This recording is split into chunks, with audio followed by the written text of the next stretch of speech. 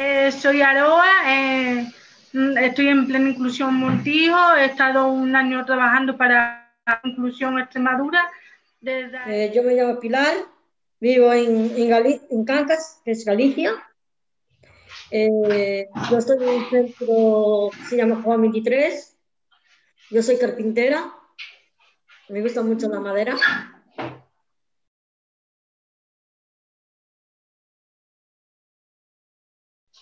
Eh, mi hobby, os digo, es de cuidar los, animales. Tengo, tengo un perro. Bueno, de tener uno tengo dos, que los, los, llevo para abajo, para las gallinas, y cuido las gallinas para que no vengan. En nuestro pueblo hay mucho zorro.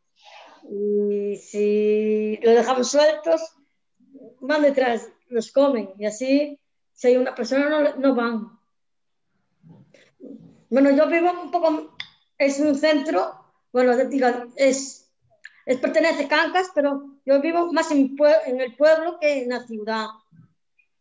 Yo, a ver, vivo en un pueblo, esto como rural, rural, yo no lo veo tipo rural, pero hay más pueblos rurales, pero sí, si vosotros lo veis como tipos rurales, ya bueno, la cosa es que lo pongan accesible. Hay cosas que sí hay que ponerlas accesibles, porque llega una persona que no conoce este pueblo y entonces hay que señalizar calles, eh, donde está, por ejemplo, yo quiero ir a la plaza, ¿cómo puedo llegar a la plaza si yo, por ejemplo, no me conozco Talavera? ¿Me entendéis? ¿No? Entonces, pues sí, necesita este pueblo una accesibilidad. Sabe que todos contribuyamos a esta accesibilidad, eh, ya no solo nosotros, sino todos. Y nada, como suelo decir yo, juntos hacer la fuerza y la unión. Por ejemplo, las personas que vienen extranjeras no saben dónde está el ayuntamiento, no saben dónde está la, por ejemplo, a mí a veces me preguntan, ¿dónde está el sitio? ¿Cuál sitio? Y hay que indicarlo, decírselo dónde está. Mira, ya no solo con señalizaciones, que no me sale, perdón, ¿sabes? sino también con pictogramas, con pictogramas porque hay gente que no sabe leer, ¿sabes? Entonces hay que hacérselo con pictogramas, dibujitos, ¿o no, Pilar? Sí. y así ya también sabrían llegar a los sitios, porque ahora mismo yo también he estado trabajando en plena inclusión en Extremadura y he sido, eh, ¿cómo se dice? Validadora de entorno y he estado validando Mérida, ¿sabes? Para nosotros, para todo, para todo. Sí, es para todo el mundo, porque como dice Pilar, después ya todo tira fácil, ¿sabes? Todo tiramos a lo fácil. Una validadora de entorno es, por ejemplo, eh, yo estuve en, la estación de tren, ¿no? ¿No? Y de, de, tren era, ahora no me acuerdo si era de tren o de autobuses, no me acuerdo, creo que de autobuses más bien. Es que no me acuerdo. Y entonces tú tenías que saber llegar a dónde estaba el, el ¿cómo se llama esto? De los coches, em, eh, ahora no me acuerdo, donde arreglan un un mecánico, pero de esto de, ah, no me acuerdo cómo se llamaba, y me decía, José Aroa, tienes que saber cómo se llega, yo no te voy a decir nada. Y yo por le decía, José, por aquí, Aroa, ¿y tú qué harías? Me dice, pues yo, José, pues yo pondría señales, ¿sabes? Poner señales, decir, para acá. ¿Y ahora qué haría? Digo, pues seguiría seguiría, seguiría, seguiría. Pero él en todo momento no te tiene que decir nada. Tú como validadora de entorno tienes que saberlo. Sabe que te ve como perdías, ya te da un apoyo. Sabe qué es lo que me hacía. Pero si no, tú seguías y seguías y seguías después ya él te decía lo último, ¿sabes? Eso es.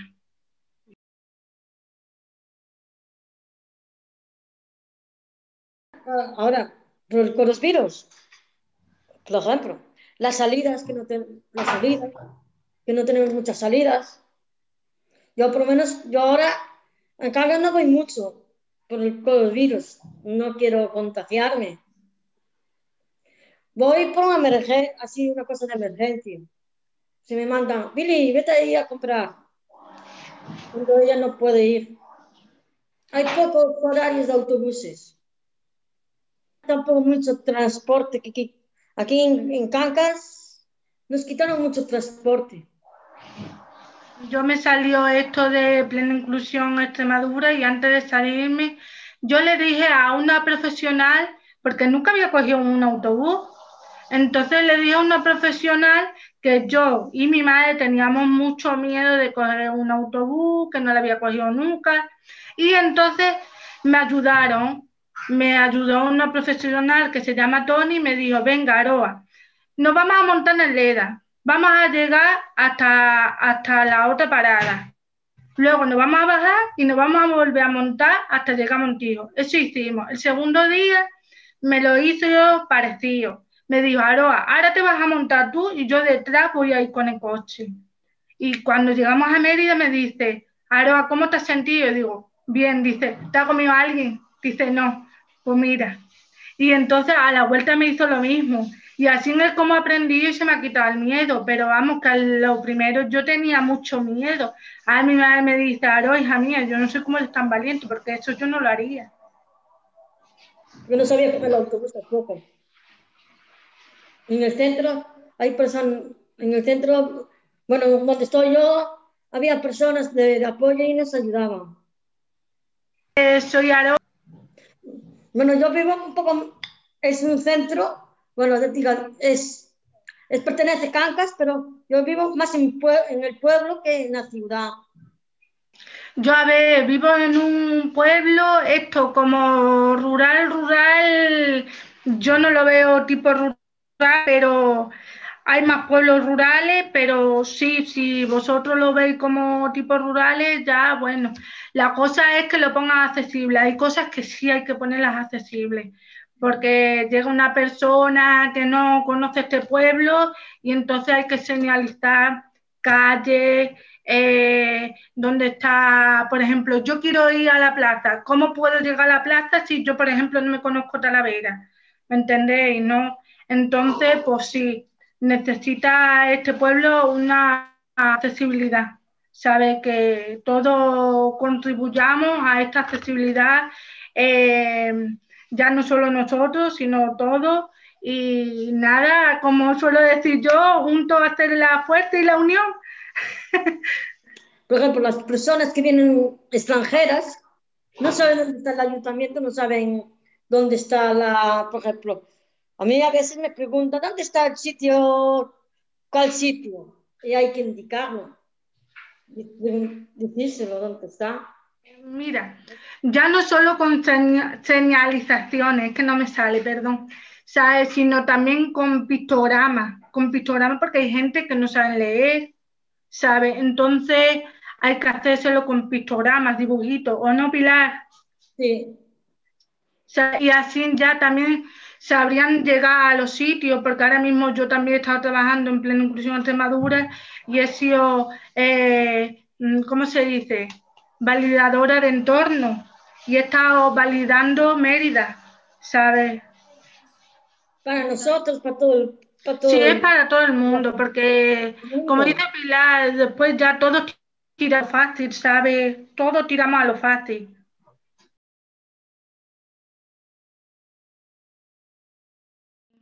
Sí, pero a ver, por empleo no ha sido por quizás por, por una formación que había sobre mujeres. Eh, me, dijeron una vez, uno, no me acuerdo qué monitor era, me dijo de mi asociación de Plenitud Montillo, me dijo, ahora ¿quieres ir con Josefa a Cáceres? Y dije, yo, yo no iba porque yo tenía mucho miedo de coger tren, digo, a ver, que yo soy, que yo sé muy bien lo que estoy haciendo, pero cuando primero no conozco algo, le cojo mucho miedo. Entonces le dije, digo, mira, yo como no me lo conozco, yo no soy capaz de, ir con Josefa, las dos solas, a Cáceres. Que si me das ese pequeño apoyo, como también me lo han dado en el autobús, pues también la haría. Pero quizás necesite ese apoyo todavía. Para el tren, sí, porque el tren me da miedo para esas cosas todavía, porque como esa todavía no la he aprendido, porque estamos a lo fácil ahora, como te digo, como ya sabes el autobús, para ti en el autobús, ¿sabes? Entonces, por eso. Yo fui a Santiago ya y a Madrid en, tren. ¿Y qué tal fue la experiencia? Bien. Bueno, venir para acá fue un poco raro para mí. La una vez, una vez, porque había extranjeras y me decía que coger ese tren. Fue el, rollo que, que, se me metió ahí, las extranjeras. La extranjera ahí, que cogí un tren que no era, era equivocado me llevaba a no sé a dónde. Menos mal que yo me di cuenta a tiempo, porque hay un español dijo, no es este, no era este tren. Entonces yo llamé a, la directora directamente, la directora llamó, me, me llamaron al tren y el tren ya me paré en otra parada y me fui para Vigo. Yo el miedo que cogí el año pasado en Madrid era las carreteras. Las carreteras, ¿tú sabes lo enorme que son de, para cruzar una acera a otra? Parecía que ese semáforo se iba a pasar en, en rojo, ¿no? Para ti y que te iban a atropellar los coches. Yo corría, los compañeros se reían porque, claro, dicen, no cruza tranquilamente, ¿sabes? Entonces, el miedo mío era ese, uy, a ver si te van a pillar, porque de llegar a una acera a otro, eso es enorme la carretera. Yo nunca había visto una carretera tan grande como la de Madrid. Entonces yo ahí, ese es el miedo que yo tenía y se reían de mí los compañeros. Me lo pasé muy bien en Madrid el año pasado.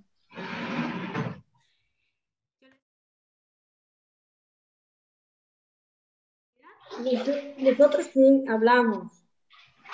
Tenemos un compañero, tenemos un compañero que ya lo está preparando con otro, un monitor para, que habla con los, con los ayuntamientos para realizar es, las habilidades para, para la gente, pues, para la gente. Por menos el ayuntamiento, por ejemplo, firma, firmaron un convenio, como entiendo, que, que tiene que poner una felicidad, es decir, ¿dónde está el ayuntamiento? ¿Dónde está la CAN? ¿Dónde está por ejemplo, ¿cómo decir? La plaza, donde está la iglesia, donde está, donde sea. Porque no está, no, no tienen nada de eso. Yo, yo porque lo, conozco donde está el ayuntamiento. Ahí, cuando fui la primera vez, yo me perdí porque cambiaron varias veces. Eh, yo en mi pueblo lo he hablado muchas veces, a ver, lo he hablado en reuniones, pero sí que es verdad que necesitamos ese apoyo para hablar con la alcaldesa y decir, necesitamos una accesibilidad justa para todos, porque, a ver, como hemos dicho antes, viene alguien, no sabe dónde está y dónde quiere ir porque está perdido. Entonces necesitamos que Talavera esté accesible para todos y para todas, porque si no está... Eh, para qué estamos.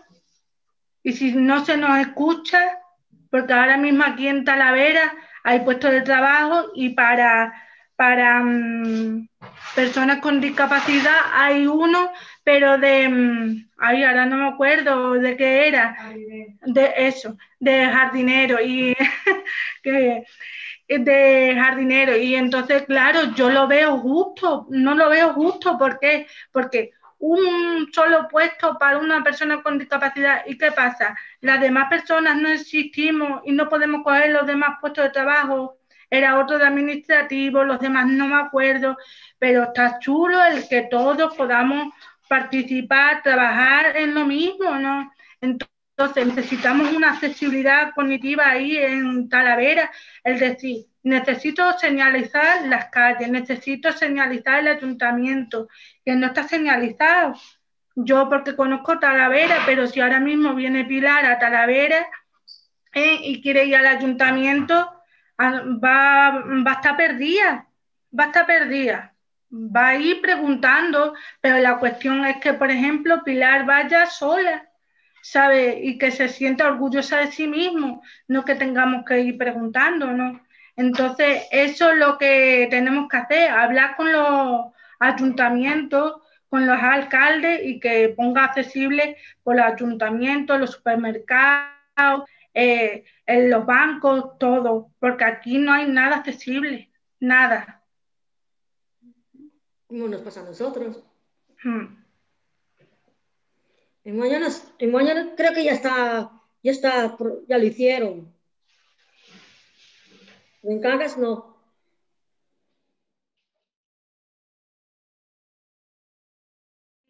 Eh, al que esté, eh, como por ejemplo Pedro Sánchez, que es el que está ahora gobernando, le diría que nos escuche, que necesitamos una accesibilidad cognitiva, porque nosotros somos personas como, como cualquiera, como él mismo, y entonces nosotros queremos valernos por sí mismos, tener un trabajo que piense en nosotros, que también que ponga los pueblos accesibles, que ponga los bancos accesibles, que ponga las tiendas accesibles, que nos escuche, no que se nos dé de lado, que nosotros somos personas como otra cualquiera.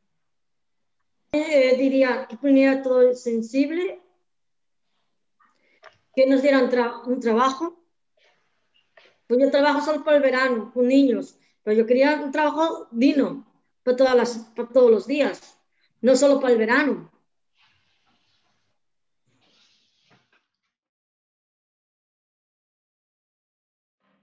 Pues a mí me gustaría que fuera, ¿eh? por ejemplo, que primero desde muy pequeñito, como es que nosotros damos charlas a través de Plena Inclusión Extremadura, también he dado con Mérida, con Plena Inclusión Mérida también he dado. Entonces nosotros lo que muchas veces hemos pedido, que los niños desde muy chiquininos se deben eh, hacerles charlas para que vea a las personas con discapacidad, con, ay, perdona, que me he nerviosa, a las personas con discapacidad como a ellos mismos, porque todos somos iguales, no porque tengas una discapacidad quiere decir que tú no puedas hacer lo mismo. A lo mejor quizás necesites un poco más de apoyo, sí, pero a lo mejor quizás no sea para, para todos, ¿sabes? Pero igual que necesitamos a lo mejor nosotros un pequeño apoyo, los necesitan ellos. Entonces, desde, que son chicos hasta que ya son grandes, se van concienciando en que las personas con discapacidad somos otras personas más en este, en este, eh, ¿cómo puedo decir? En este mundo en el que vivimos. Y entonces, pues, primero yo daría charla para concienciar a toda la gente. Yo daría charlas a los, a los niños a las mayor, a la gente, a la gente mayor, a, algunos padres, que los padres también le prohíben salir con, que tienen miedo. Porque hay padres que, uh, tú no sales, que sales conmigo. No nos dejan salir con los amigos, les rechazan mucho. Hay personas que tienen, es inteligente, que puede salir. Y así, ellos su ropa, querían dirigir ellos. No me gustaría que hubieran entre profesores, ya profesores también pero los profesores de los, de los chicos, ¿eh? los profesores los niños la gente de la calle, la